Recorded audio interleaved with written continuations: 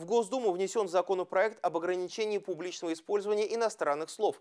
Напомним, что ранее был принят закон о госязыке, который расширил перечень сфер с его обязательным использованием. В настоящее время русский язык подлежит обязательному использованию в деятельности органов госвласти и организаций, деловой переписке, рекламе, в информации, предназначенной для потребителей товаров, работ, услуг.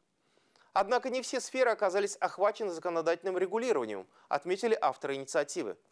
На практике отмечается агрессивное использование вывесок, надписей, размещение информации о проводимых акциях, скидках, распродажах на иностранном языке, говорится в пояснительных материалах. Рекламные щиты, вывески на магазинах, названия жилых комплексов и элементов планировочной структуры, в том числе наименования застраиваемых микрорайонов и кварталов, повсеместно пестрят привлекающими внимание иностранными словами.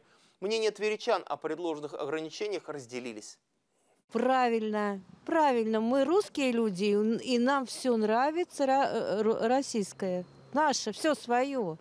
Все, уже давно пора.